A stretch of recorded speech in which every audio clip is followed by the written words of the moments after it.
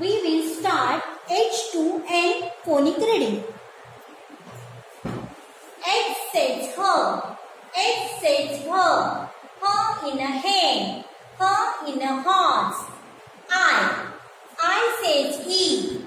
I says E. E in a India. E in a ink pot. J. J says J. J says J.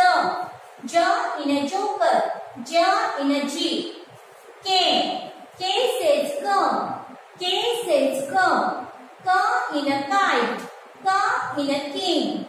L.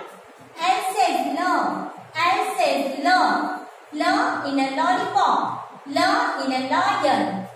M. M says mom. M says mom. M in a mango. M in a monkey. N says no. No in a nest. No in a net.